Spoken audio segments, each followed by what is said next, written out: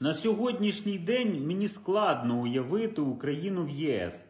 Міністр закордонних справ Словаччини Юрай Бланар.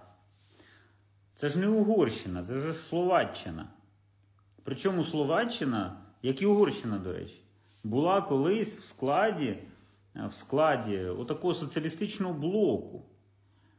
І отакі заяви. Що там, і ще хтось буде з наших чиновників розповідати, що ми щит Європи, чи вже всім все ясно? Сумно це все. Телеграм шапці профілю, підписуйтесь. І Ютуб. Нас там вже майже 10 тисяч. А не підпишетесь, то будете довго-довго думати, що ми щити Європи.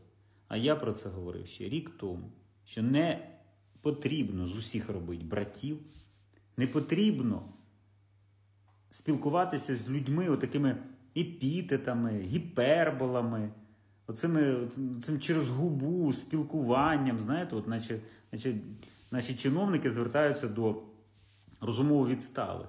Ні. З українським народом треба говорити паритетно. А то потім буде те, що я розповідав на конференції ось в університеті Кожедуба, коли від спротиву інформаційного українці переходять до інформаційної протидії власній державі.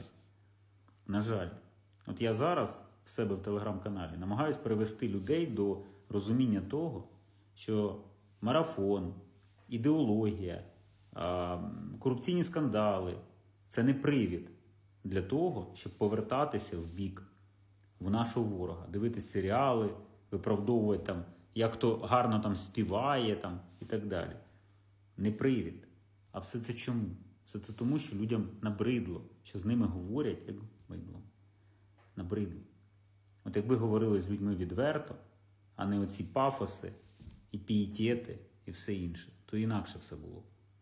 Ну я ж якось можу вести канал на 107 тисяч телеграм. І люди ж тримаються, тому що я їх поважаю і говорю з ними відверто. Які б шишки в мене не летіли, і від них в тому числі.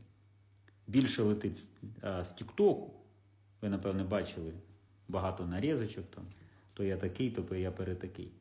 Менше з телеграм-каналу, але і там буває, що люди не готові до деяких думок, до деяких висновків.